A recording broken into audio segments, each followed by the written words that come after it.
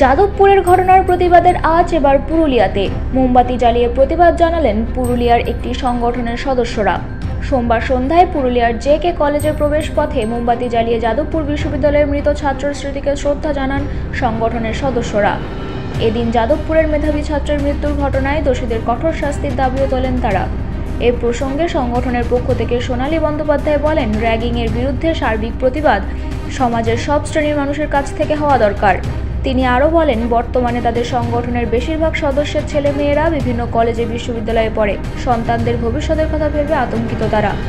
আর আমরা এই জন্যই হয়তো আমরা নিজেকে মানুষ বলে হয়তো কোথাও বলতে কুণ্ঠা বোধ করব। মানুষের ধর্ম যেটা অন্যায়, তার বিরুদ্ধে প্রতিবাদ করা, তার বিরুদ্ধে সোচ্চার হওয়া। আমি বুঝতে পারছি না আমাদের পুরুলিয়ার মানুষজন কোথায় এত মানুষ থাকতে প্রতিবাদের আহ, জন্য সোচ্চার হয়েছেন মাত্র এই কয়েকজন বাকি মানুষরা কোথায় গেলেন বুদ্ধিজীবীরা আপনারা কোথায় গেলেন? আপনারা কেন মুখ লুকিয়ে বাড়িতে বসে আছেন? আপনাদের কাছে তো আমরা অনেক কথা শুনতে চেয়েছিলাম এই প্রতিবাদের জন্য, স্বপ্ন মৃত্যুর প্রতিবাদের জন্য।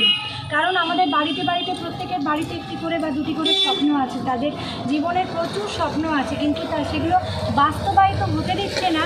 এই সৌরভ চৌধুরী তারপর আরও সত্যব্রত রায়, অনেকের যাদের উপর তদন্ত চলছে, তাদের মতো জানোয়ারদের জন্য।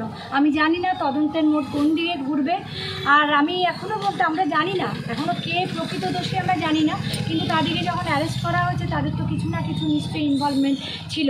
তো আমি চাই আপনারা বুদ্ধিজীবী যারা সমাজ, তারা বেরিয়ে মানে অন্তত একটু সোচ্চার হন বলার জন্য। আমাদের হয়তো ভাষা তেমনভাবে নেই, আমরা খুব ভালো কথা বলতে পারি না, কিন্তু মনের থেকে আমরা অবশ্যই প্রতিবাদ জানাতে পারি। পুরুলিয়া থেকে সম্রাট নাগের report, U Bangla TV. U Bangla TV, হৃদয় ছুঁয়ে যায়।